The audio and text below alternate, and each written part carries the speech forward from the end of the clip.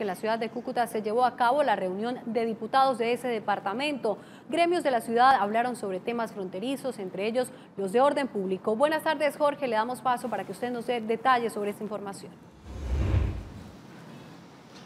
Gracias, muy buenas tardes. Pues avanza a esta hora una importante reunión citada por la Asamblea de Norte de Santander con gremios de la región, básicamente la Cámara de Comercio de Cúcuta.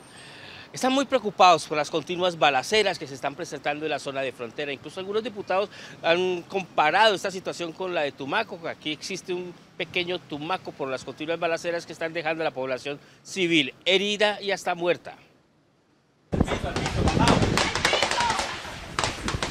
Preocupa al sector público y privado el incremento de balaceras en la zona de frontera, en el sector del corregimiento La Parada, a solo 15 kilómetros de Cúcuta. Balaceras que dejan ya, hasta el momento, dos muertos. Para algunos, esto ya parece un pequeño tumaco. Por eso los diputados y la Cámara de Comercio de Cúcuta se reúnen. Claramente es importante que unifiquemos criterios con la Asamblea, con las entidades territoriales, con las entidades eh, regionales para poder eh, hacer una propuesta al gobierno en el corto tiempo. Los diputados pusieron de presente esta situación indicando que aún falta más del gobierno nacional para enfrentarla.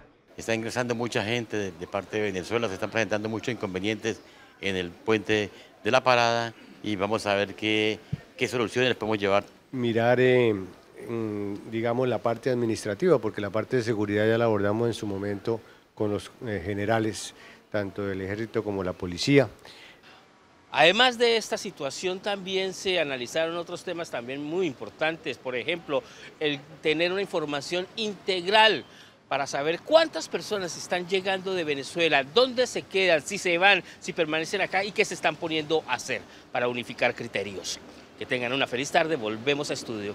Canaltro.com